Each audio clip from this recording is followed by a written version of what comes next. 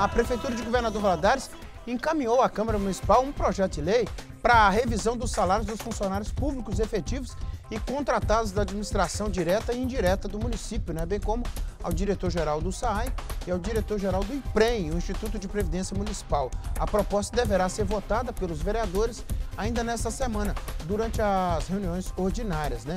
Se aprovado, o projeto prevê um reajuste salarial de 5,79%. A nota termina informando que vale ressaltar que o reajuste atrasou em virtude da mudança do programa que impossibilitou o levantamento de impacto financeiro e, por isso, só agora foi possível finalizar.